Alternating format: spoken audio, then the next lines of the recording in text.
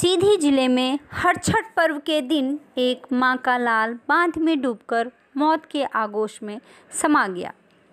गोपालदास बाँध में आज चार बच्चे नहाने उतरे, जिसमें तीन बच्चे किसी तरह पानी से बाहर निकलने में सफल रहे, लेकिन एक 11 साल का बच्चा बाँध में डूब गया।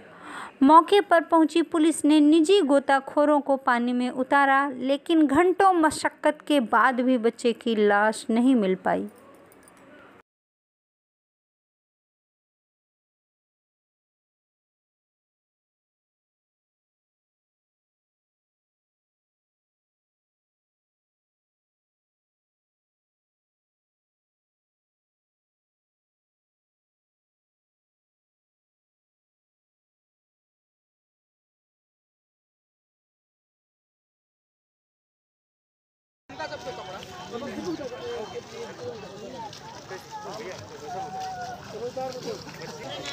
कहाँ तक पता रहा है?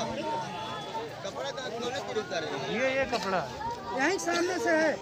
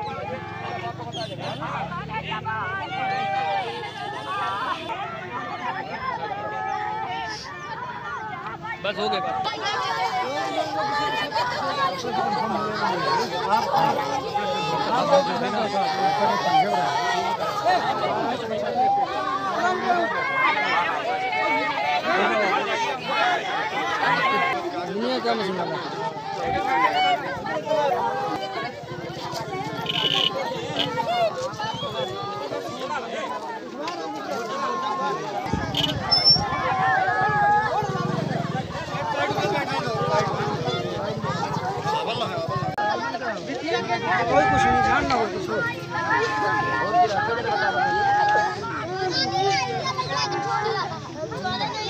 मन करें दोपहर में मोहल्ले के चार से पाँच लड़के यहाँ नहाने आए थे जिसमें से एक लड़का गुमशुदा हुआ हुआ है। तो उसके कपड़े वगैरह बाहर पड़े हुए हैं तालाब के और वो बोलते हैं कि डूब गया है। कितने घंटे हो गए? ये साढ़े तीन बजे की बात है। अभी तक मिला नहीं बच्चा? अभी बच्चा नहीं गोताखोर वगैरह आए कुछ नहीं आए अभी? जी? गोताखोर वगैरह आए कि नहीं कुछ नहीं अभी कोई प्रशासन आ गया लेकिन प्रशासन कोई सुविधाएँ हमें नहीं मिल पा रही है अभी। कितने बच्चे डूबने की आशंका बताई जा रही एक एक बच्चे की अभी मतलब ऐसी जानकारी में आ रहा है। है एक बच्चे डूबा है। कितने साल का बताया जा रहा है? दस साल के लगभग। बच्चे बताया जा रहा है। बच्चे नहाने आए थे क्या? जी यहाँ नहाने चार पाँच लड़के थे ग्रुप में। छोटे छोटे बच्चे थे। क्या नाम आपका? प्रकाश